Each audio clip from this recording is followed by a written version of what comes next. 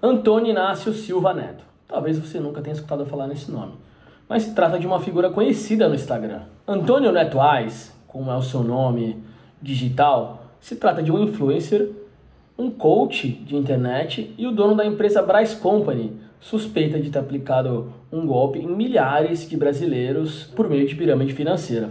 Entre eles, o ex-atacante Magno Alves, que passou para o Fluminense, por Ceará, Atlético Mineiro e até pela seleção brasileira, onde jogou a Copa das Confederações em 2001. Antônio Neto Ais era muito conhecido que seu público no Instagram, ele tinha quase 800 mil seguidores, por suas postagens ali, esbanjando uma vida de riqueza, luxo, com muitas viagens ao lado de sua esposa, Fabrícia, também sócia da Bryce Company, onde eles viajavam o mundo, Dubai, Londres, Paris, Áustria, sempre esbanjando aí muito luxo, é, viagens por meio de aeronaves, por meio de helicópteros, lanchas. E Antônio Neto, assim, foi fazendo fama nas redes sociais e também com seus discursos, com palavras que prometiam riqueza aos seus seguidores, com dicas aí, você quer ser um milionário, né?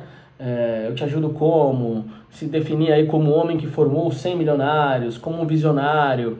E realizava muitas lives dando dicas de investimentos, principalmente em criptomoedas, que é, era a base da sua empresa, e também muitas postagens aí com aqueles discursos de desses coaches de internet, com sempre com promessas de que pode ajudar as pessoas a conseguir riqueza e ter uma vida como a dele. Também era conhecido aí por suas postagens com famosos, participava de muitos jogos festivos ali de futebol, jogou na Vila Belmiro no passado o jogo do Natal Sem Fome, jogou um outro, uma outra partida festiva ao lado do Romário, do Ronaldinho. Tem fotos com o Neymar no PSG, fotos com o Messi no PSG. Então, e foi assim que ele foi criando fama na internet, ficando cada vez mais conhecido e atraindo mais clientes. Hoje, ele é considerado foragido ao lado de sua esposa. Diz que é suspeita de que tenham fugido para a Argentina, eles têm mandados de prisão aí desde o começo do ano. E desde que sua empresa aí não conseguiu mais pagar os clientes, ela suspeita aí de ter movimentado mais de um bilhão e meio de reais nos últimos quatro anos e acabou lesando milhares de pessoas. Existem algumas ações coletivas aí com centenas de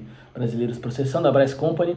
E entre essas pessoas está o Magno Alves, que perdeu 32 milhões de reais com a Bryce Company. Eu sou Diego Garcia, colunista do UOL, aqui para TV UOL. UOL.